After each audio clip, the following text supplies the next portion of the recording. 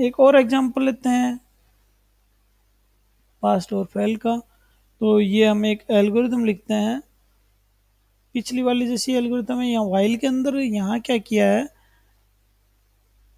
While के अंदर एक इफ़ एल्स स्टेटमेंट लिखा है। और ये काउंट कर रहा है कितने लोग पास हुए और कितने फेल हुए। तो हम क्या कर रहे हैं? इनिशियलाइज पास एक वेरिएबल है पास से उसको ज़ीरो कर दिया, दूसरा फेलियर वेरिएबल है, उसको ज़ीरो कर दिया सुडो कोड है। और स्टूडेंट नाम का जो वेरिएबल है, उसको वन कर दिया। फिर स्टूडेंट जो है, वो यदि लेस देन और इक्वल टू टेन है, यहाँ एग्जांपल में ये लिया कि क्लास में टोटल टेन स्टूडेंट है। तो ये less than equal to ten है, तब तक ये प्रोसेस रिपीट होगी।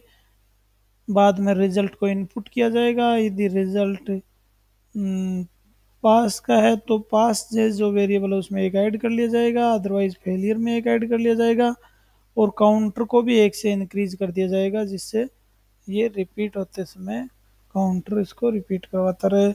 और जो ये टर्मिनेट होगा, बाहर निकलेगा तो ये पासेज और फेलियर्स को प्रिंट कर देगा। यदि पास रेशियो 80 परसेंट से ज़्यादा मतलब यहाँ दस में से आठ स्टूडेंट या उससे ज़्यादा पास हैं तो ये प्रिंट कर देगा बोनस टू इंस्ट्रक्टर ये एक्स्ट्रा लाइन हमने प्रिंट करनी चाहिए। इसका हम फ्लो चार्ट बनाते हैं तो ये फ्लो चार्ट बनेगा। फ्लो चार्ट में स्टार्ट तो ये इनिशियलाइजेशन बाद में कंडीशन कंडीशन यदि ट्रू है तो रिज़ल्ट को रीड करे। रिज़ल्ट यदि पास है रिज़ल्ट में फिर कंडीशन रिज़ल्ट यदि पास है तो पास में एक ऐड कर ले। फेल है तो फेलियर्स में ऐड कर ले। और बाद में काउंटर में एक ऐड कर ले। बाद में वापस रिपीटेशन के लिए चला जाए। और इस तरह से ये रिपीट होता रहे यदि ये फॉल्स फॉल्स हो जाता है।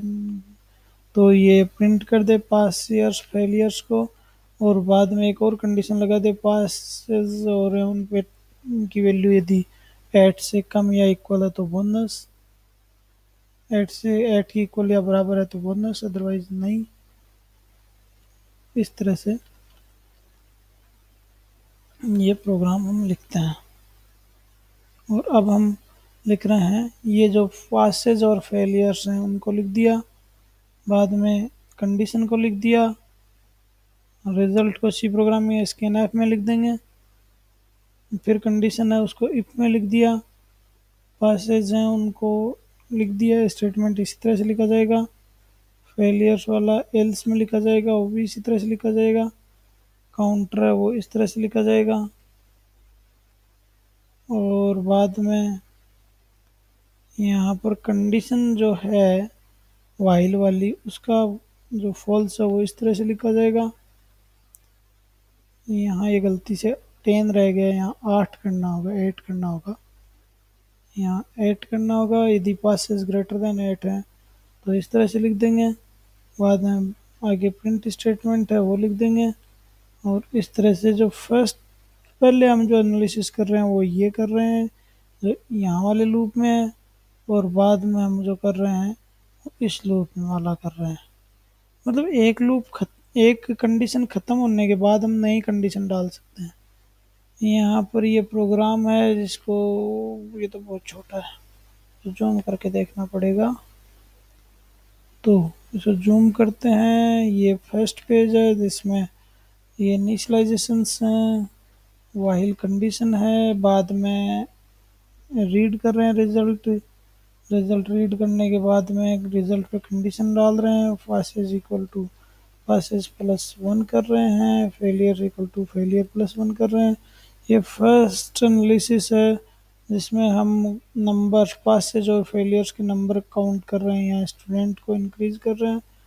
और फिर ये दूसरा पार्ट है, दूसरा एनालिसिस का पार्ट है, जिसमें पासेज ग्रेटर देन एंड है एट है। तो ये बहुत टू इंस्ट्रक्टर प्रिंट कर रहा है। हम इसको कंपाइल रन करके देखते हैं। रन करते समय ऐसा प्रिंट करता है। वन का मतलब पास टू का मतलब फेल माना जाएगा। तो यहाँ one two two one one one one two two one ये इनपुट देते हैं। तो ये काउंट करके बताता है। सिक्स पास हुए हैं, चार फेल हो गए। यदि हम one one one one one one two दे देते हैं। तो ये बता रहा है नो पास एक फेल और वन इंस्ट्रक्टर भी प्रिंट कर देता है। इस तरह से in top down step wise refinement that top is the statement that conveys the program overall function it's a representation of program in the refinement process. We divide the top into smaller tasks and list the is in execution order. तो यहाँ ये है कि हम जो programme लिखा है या जिसको समझ रहे हैं, उसको हमने दो भागों में बांट दिया है। पहले ऊपर वाला पार्ट है, जिसमें हम एक कुछ कैलकुलेशंस कर रहे हैं, जैसे हमने कितने पास हुए, कितने फेल हुए, उनको काउंट कर लिया। बाद में उसका रिज़ल्ट यूज़ करते हुए नीचे दूसरा एनालिसिस कर रहे हैं कि यदि पास रेशियो 80 परसेंट से ज़्यादा है तो बोनस टू इंस्ट्रक्टर प्रिंट कर दे। तो एक एनालिसिस के रिज़ल्ट को हम दूसरे एनालिसिस में यहाँ काम में ले सकते हैं।